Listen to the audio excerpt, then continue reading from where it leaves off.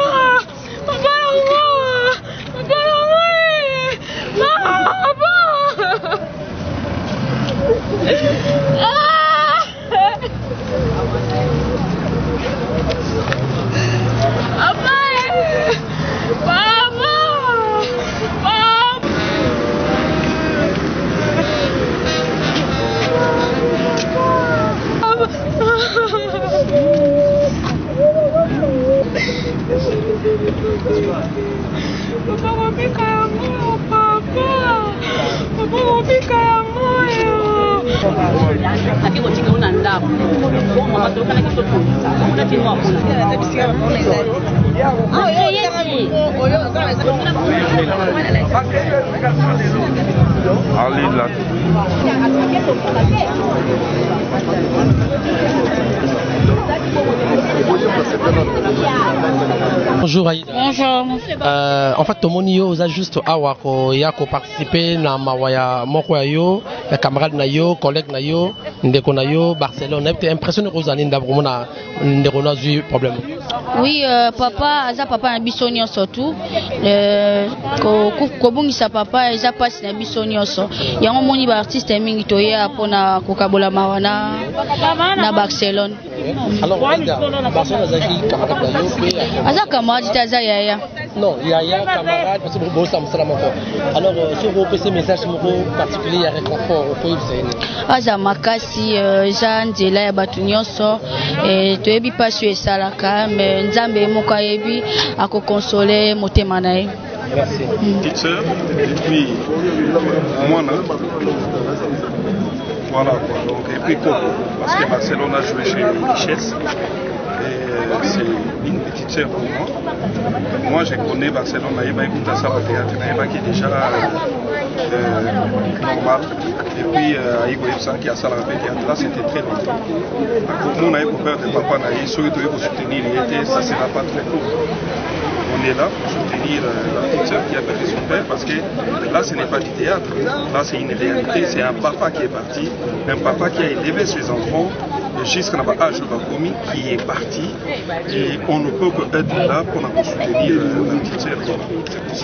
eza kala toke bana ngai nalingaka kosola no mingi po sagesse culture ebimaka mpe na mboka na biso lelo oyo bakolege nao mosusu non seulement bamambre ya famille bazoleka na batelevision pour dire ke papa kufi na poison babomi ye devant caméra boza baéducateur ya masse ce gens là okopesa bango raison okope bango to koloba bango na télévision teke bamwa bafamille nao balingi nga sikoyo babe na ngai elakakendakibaka makambo ya ngai to nakibaka ya ngai ya babrian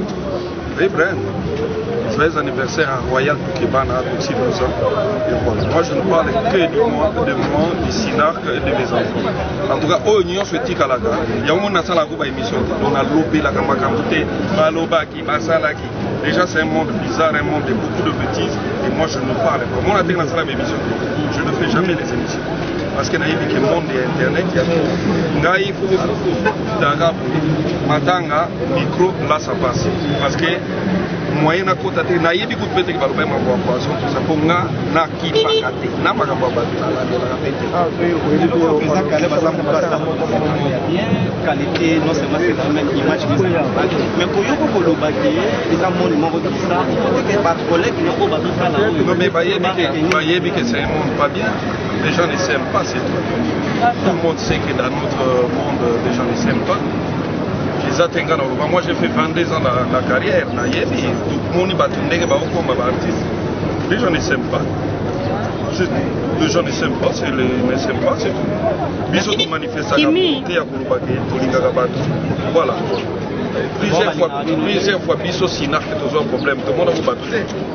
tomona bato te pourquoi on voulait juste te dire que les gens ne s'aiment pas c'est tout merci beaucoup euh, euh bonjour euh, Claude Bonjour papa. En fait, euh, tomoni yo na cinquantenaire awa oyo ko euh, partager mawana moko ya bino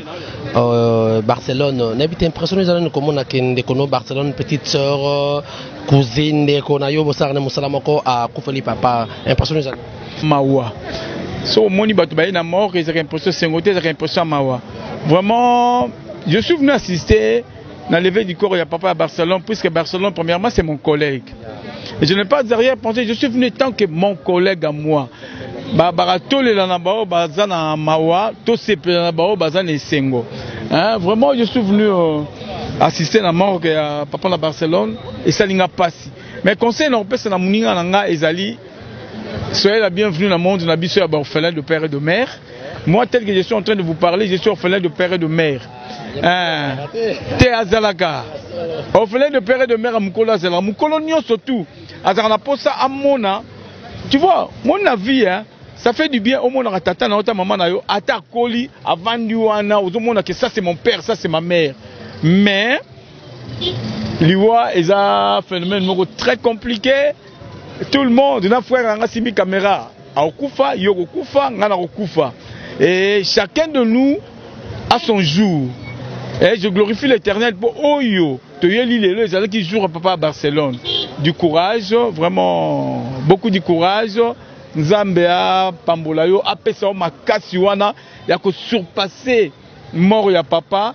e déséquilibre yo te epesa osu makasi ya mingi ya mingi ya mingi vraiment beaucoup beaucoup du courage et ça c'est très bien que dès qu'on va aller enterrer papa quand on va rentrer vie mususu la vie va continuer la continuité à vie kolelalela te barcelone continuité à vie tala baoyo batikeli yo bango bapapa leki bapapa kulutu c'est toujours la famille hein? faut surpasser yango et puis tu es un artiste hein biso tolelaka d'une manière ou d'une autre vraiment grand merci na bandeko nyonso tu bapermettre kolekisa ntango na bango koya koparticipe na levée du corps oyo et encore une fois courage mon collègue ezalaka toujours kobongisa moto eza mpasi nga mpe si naleka na nzela yango nayebi mpasi oyo barcelone aoyoka na minute oyo mais toloba nini mopesi mpe mazwi adeside autrement toyebise merci Alors s'il faut donner un message beaucoup particulier na collègue na yo Barcelone mpo na réconfort okoyebisa ye nini akozolanda yo alela ndenge mwana nzambe alelaka akondane te ayebisa nzambe merci ça fait très mal nde nauti oloba séparation ezalaka mpasi mais sikoyo toloba nini tosala so nini vraimen nzambe alola le bon consolateur akonsole yo barcelone atika yo te na yo na libota mobimba nzambe alola ayoka mawa apesa bino kimia donc oyo eza important yango wana merci jour euh, na morgue ya cinquantenaire sekape toyei kozwa liwa eh, eh, corps ya mwana mboka eh, ndeko na biso papa wa biso papa na barcelone papa kalombo oyo azalaki moko ya bapasteur euh, na euh, aseka brazzaville masengo oyo oh, bayebi aseka masengo et la raison pour laquelle tozozwa toujours ba quelques, inter, euh, quelques interview tozwa ndeko na biso pese bonjour ndeko na ngai bonjour papa voilà yo ozali moko ya baartiste oyo ko ko compatir na ndeko na yo barcelone oyo akufeli papa nayebi te impression dobo eza na nini pression eza parce que esali nga bien na ye namoni bandeko na biso bakolege na biso ya mosala baye koassiste parce que ebele batiki mpe batournage biso tokimi mpe batournage lelo toye koassiste samedi ya journée moko boye ya journée ya tournage mais tokimi yango toinvite yango na bato mpe batie tournage ya lelo babengo ndoki parce que towana moko na biso akufeli kufeli papa fo toassiste esali nga bien parce que savo déjà yala toa déjà na famille mm-hmm. harmonie ezali sans querelle eh, l'amitié eza déjà donc esali nga déjà bien koya komona bato balati banoir boye mpo na moko akufeli papa donc c'est bon déjà bon ndeko na yo barcelone euh, azolanda yo sikoyo akufeli papa soki hmm. opesa ye un message moko ya réconfort message ya message ya ya ya ko bengo ni réconforter ye eza juste azalaka makasi tu hein parce que eza biso tout olekana etape ezaka ye moko te eza mosusu akufela papa na maman me baye na matanga ba fort bazwi mpe batransport bademane bavoiture baye parce que eza eza eloko ya grave teyebiki eza mwa mpasi ya koperdre moto aza important na vie na yo mais azalaka makasi azalaka na responsabilité azalaka nango parce que na kala ezalaki soki papa ya te moyen olia eza te moyen omeli ya te mais quand même tokomida ya mikolo tokoma baresponsable donc voilà de rien un petit mot par rapport ya papa kalo oyo azalaki moko ya ba pasteur ya communauté asika yo poza moko ya na kati ya communauté asika fiba shala nini okoki koloba disparition oyo ya papa kalo eswaki nga d'abord mingi premièrement ya komona oyo oh, ndire fleo moko ezwi depuis 2020 baserviteur ya nzambe bazokufa ebele ebele ebele et surtout que c'était un vrai père de famille c'était un bon serviteur que je connaissais Jadis mais comme azalaki na Brazzaville, Nzambe azwa ka lokumu azwa bomoi na ye, mais il est parti trop tôt. Ça c'est un grand regret que il est parti trop tôt, c'est tout. Un message moi réconfort au maman Fiba Charles ko kolobela papa Eveque ko Barcelone azolanda yo azali mwana na ye. na eloko na koloba ke elikya na biso eza mpa nzambe yesu kristo apesi biso moi au fait message eza ke to prépare epai tookende on dirait les gens se, se croit ke eza lokola 2020 eteyi biso makasi to préparer bomoi na biso to préparer là où on va résider pour l'éternité qui au paradis mais sikoyo osalaka nde tokende boye to se préparer message na ngai eza makasi ke to se préparer to lupe lola te Voilà, merci Maman Fifi Bachala, que Dieu vous bénisse. Alors, Bonjour Yaya. Voilà, euh, le tout secteur Nabuto, déjà Nandako, Tosolo, qui m'a l'élo, ils allaient dernier jour, Oyo, donc, comme ça, depuis Mortel, il y a Papa Kalo, Azali, Papa Yamoko, il y a Bino, il y a ya, ya, ya théâtre nayebi te moni nini soki okobakisa mpo na lelo tokomona soni na papa te epuis ndeko barcelone ya kolanda yo ha hier j'avais déjà presque tout dit hein? donc euh, euh, dernier virage eza bacondoléance car le plus attristé encore toute la famille hein? donc je sais que bokabwani ezala vraiment mpasi mais biso bana nzambe toyeba que un jour on se reverra au ciel donc c'est pas facile mais que dieu puisse consoler les cœurs de tout un chacun et surtout de toute la famille parce que tolobaka azala makasi azala makasi azala makasi mais azala makasi yanso moko tolobaka o soki eza peut-être ekomeli yo moko okoka yango te donc euh, tolobaka bazala makasi enga surtout mpasi na ngai eza mingi na maman la veuve donc euh, dieu voilà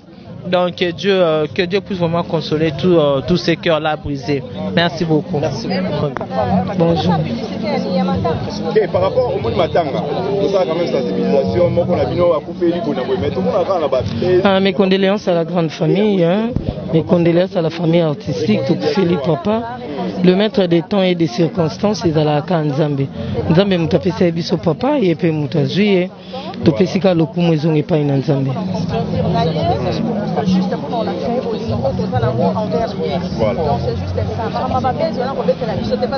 non oyo oh, nakoyebisa ye azalaka makasi azalaka makasi toyebi ke koperdre être cher ezalaka vraiment mpasi sikoyo on n'a pas le choix on n'a pas le choix nzambe moto apesa ye biso papa nzambe mpe moto azwi ye molimo na ye epema na kimia tokoki kokende moke na suze nakota personnel opesa biso paraport ndenge bato na kobosi mwa papa na ye impression eza kaka ya mama toza na mpasi barcelone akufeli akufeli papa euh, papa aza être cher donc euh, ça fait très mal ko perdre oyo aza être cher donc euh, toye mpona kocompatir mais en même temps que tozolela pampa parce que ezwi biso nyonso toyebi ke mpasi makasi ya barcelone mais biso toza naka mpona kocompatir mais eza kaka na nzambe moto akoki kosunga motema na ye parce que ye moto aefasaka bapota ye moto akawisaka bapota biso tokoki koloba na monoko me motu oyo akoki konsole motema eza kaka nzambe bellevie barcelone azali moko ya baartiste oyo botravaillaka na ye c'est vrai elakisi unité oyo boye vraiment ebele namoni baartiste awa mais s'il faut lui donner juste un, un petit message ya réconfort particulier okoyebisa ye nini azolanda yo eloo na oyebisa ye euh, dieu n'a jamais eu tort et pas Barcelone. On je sais pourquoi je dis ça. Uh, nzambe bapesaki foti te nzambe batunaki te te pourkui asali bongo uh, il fait sa grâce à qui il veut donc euh, oyo eza important eza ke nzambe abengi papa azwi ye on n'en peut rien c'est juste rendre grâce à notre dieu même bible elobi na biso na circonstance nyonso tokumisa ye ekozala ya mpasi tout comme ekozala mpe ya esengo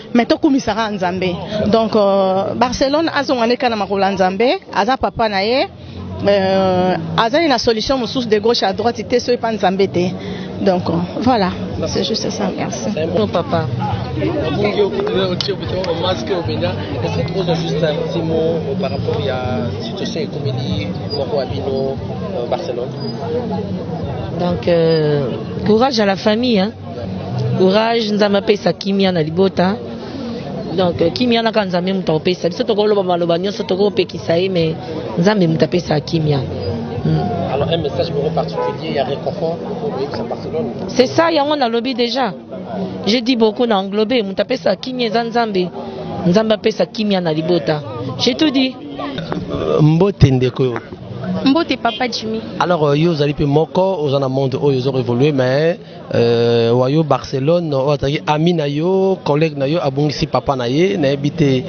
euh, comment ozosentir eloko wana mpe okoyebisa ye nini bon nazosentir na vraiment douleur mpasi makasi mpo aye na monde na biso mpo nga mpe naza orpheline de père Eh, nayebi mpasi wana ndenge esalaka na osenga d'abord na famille eh, famille wana bazala makasi mpo eza vraiment choc oyo ekomeli bango d'abord normi mpe azala makasi mpo normi mpe aza aza moko ya baartiste oyo ayebani makasi eh, na osenga mama azala makasi bango nyonso bazala makasi nzambe apesa bango force ya osupporte choc oyo oyo bon merci bonjour ndeko na ngasi bonjour en fait euh, tomoni awa na cinquantenaire oye kopartage ko compatir na moko ya bino barcelone nayebi te d'abord impression noko ozala nini eza topartage ka douleur papa donc euh, loba nzambe kutu elobi vaut mieux aller dans un maison de deuil que ya fête donc toye kopartage douleur na ndeko na biso akumisi papa na ye baza être très cher donc euh, on est là pour elle alors s'il faut donner un message moko particulier ya réconfort euh, epa ya collègue na yo barcelone akolanda sikoyo okoloba nini elle doit être forte parce que eza période moko dure eza très dure consolation na biso oui on est là tokoseka un moment tokosolola mais akotikala ye moko ça fait très mal Nzambe moto akonsolaka mitema yeba kokonsole ye apesa ye su makasi. Alors tomoni boza ebele awa baartiste d'après boza koexprime unité ou comment? Yango wana papa, unité, force, amour entre biso. Merci beaucoup. Euh, Kulutu Masas. Bonjour pa. Voilà, euh, tomoni oye awa na cinquantaine nayebi te ndeko na yo Barcelone aza leki na yo vraiment collègue na yo ya mosala akufeli papa na ye d'abord impression eza nini olobi impression eza nini na oyo eyeli ndeko na barcelone ndenge olobi aza leki na nga eh, leki so abeti mbunda bamikolo babini seke ye mpe akomi mokolo donc barcelone aza susu leki ya leki ya ndako te barcelone akomi mpe mokolo Euh, quant à moi, ebongi tokabola mawa ndenge bible elobi ke tokabola mawa na bo bazolela bato ya feti bakende na bango donc mpo na nga namoni ke barcelone azwi euh, sango ya mawa toza objet toya ça c'est sans faute c'est une euh, artiste oyo arandaka bato mpe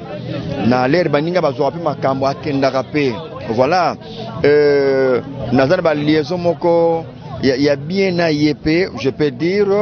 euh, donc euh, tozalaka bien quoi tozalaka bien na ye à part cela je peux dire que l'évêque mukuna aussi l'évêque mukuna euh, nanga euh, toyebani bien euh, toyebani leka naka na biro naka na ndenge na nga donc toyebani na évêque mukuna donc évêque azwi problème euh, naza obligé na assiste ye kotala mpe mwana biso barcelone ye mpe azwi likambo do na ye na nalandi deux personnes évêque mukuna nalandi na barcelone qui, qui se comporte bien na niveau ya baartiste qui a euh, euh, aza na aza exemplaire mo oyo ya bien oyo tolobi comportement ya bien respect envers le grand donc euh, moto ya ndenge wana ntango azwi likambo toza oblige to assiste ye okay. la présence ya, ya baartiste de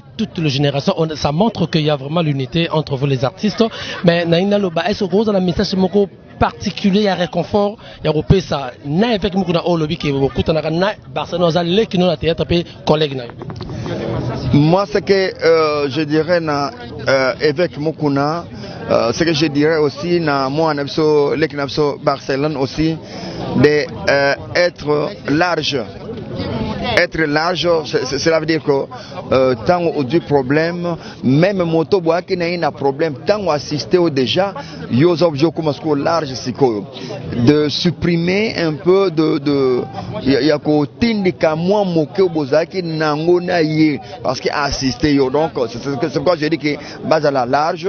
Eh, bala na beaucoup de patience euh, elikia eza na nzambe comme dit la bible que toutaki na mabele tokozonga na mabele ne faut pas parler n'importe quoi ne faut pas plaire euh, obimisa makambo na monoko euh, ya koloba n'importe quoi oya koblaspheme contre dieu donc bazala na contrôle quand il parle bazala na contrôle ntango bakolela ntango bakorecevoir bato bala na contrôle en fait que eh, nzambe amona bango mabe te c'est ce que je peux leur dire courage omona euh, euh, bonjour euh, pasteur japan bonjour papa voilà euh, yo ozali moko oyo ya barepresentant ya papa évêque na brazzaville seka mpe papa kalo abandaki kosala kuna na masengo N'importe comment au recevoir qui jour on a que papa Koufi, ça fait comment Bon, na recevoir qui est triste, eza sangwa mawa, au bozala ko solo na emingi atiki mokili donc ezala ki sangwa moko ya passe pour na biso. Alors, qu'est-ce que toko ko retenir de son vivant de Papa Kalo, au oh, ba Kalo mingi bando bengi Papa Kalo. toko retenir nini de son vivant azalaki papa moko malamu azalaki papa moko euh, rassembler kosangisa biso nyonso si ya un problème kovandisa biso kosolola na biso vraiment eloko na retenir pai na ye ezalaki nde baconseil c'est un bon père na ba conseil alors s'il faut donner message moko particulier conseil eh, moi ya réconfort pas ya papa ya verre non pe na bana na oyo atiki nayebi ke eza pasi ezali mawa mais eloko tokosenga kaka eza nzela ya bato nyonso nzambe asunga papa na biso na shoko oyo aza nango apese makasi c'est ça na famille mobimba eloko na kosenga na bango voilà. papa kalombo azali moko ya bapasteur oyo azo représente communauté ACK na niveau ya Brazzaville azalaki na ACK Masengo oyo botu kolanda azalaki représentant ya ACK na Brazzaville alors tozozwa mpe pasteur Mardoché oyo azalaki moko ya balanga nzembo mais azokamba ACK Lemba alors bonjour euh, pasteur Mardoché bonjour papa Deme voilà komona ndenge lelo oyo papa Kalo atiki biso nayebi te esalaki yo na ndenge nini toza na mawa mingi na motema epesi biso susi makasi kotala oyo akufi mpo na nga aza ongle famille akufi kaka boye donc toza na mpasi makasi na motema communauté mobimba ya aseka tozolela alors euh, soki okopesa message ma réconfort opa ya famille biologique puis euh, na eh, papa eveke azolanda yo poko koloba nini tokoyebisaka papa azala na courage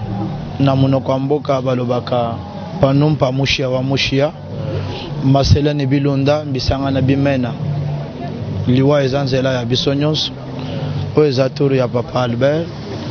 biso bantu totikali eteya biso papa azala na courage liwa esi ekomi tokanga kaka motema atesaki bino tozwa mwa bakeke pasteur ya communauté aseka pasteur tozwi baartiste mpo na ndeko barcelone alors keke pasteur oyo bazali kotravaille na kati ya communauté aseka tomoni euh, pasteur achille bonjour Bonjour euh, Papa Jimmy. Poza moko oyo oyebi Papa Kalo bien, euh, bozo travailler na communauté, euh, ndenge nini ozwaki sango wana ya Papa Larakufi? Ezakake. Ezakake parce que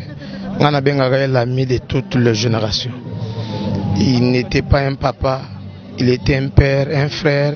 un vieux un ami Donc, il, il, il est au milieu de tout le monde azalaki ndeko moko papa moko tolingaki makasi ntango tokoki sango wana esali biso mpasi epuis eloko esepelisa biso c'est le grand frère propre ya évêque mokuna mais efface okoki kolomona ye teke no ngai ngai awa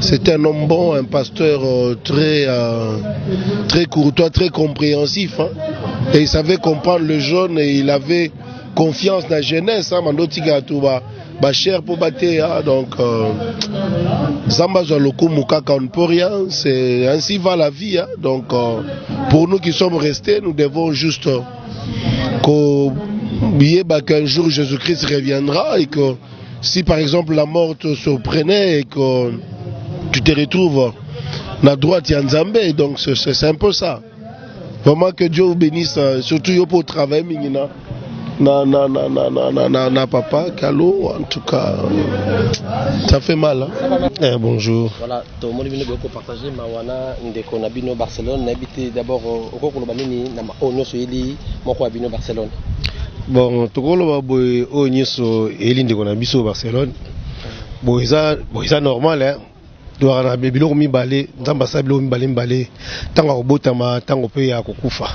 ntango ya kolona ntango ya kobuka bon eza mokano ya nzambe Alors, soki okopesa barcelone un petit conseil ya réconfort euh, mpo na ndenge ya bo- bon koloba nini conseil na opesa ye azalaka makasi eza nango makambo eyaka amipesaka na losambo nyonso eleka nango bien D'accord, merci beaucoup. To Zozo Ape, bonjour de Konanga. Ouais, qui mes amis, papa Bon, qui mes amis Bonjour, mais qui mes amis Santé, mais qui mes amis pour Qui mes amis Parce que. Voilà.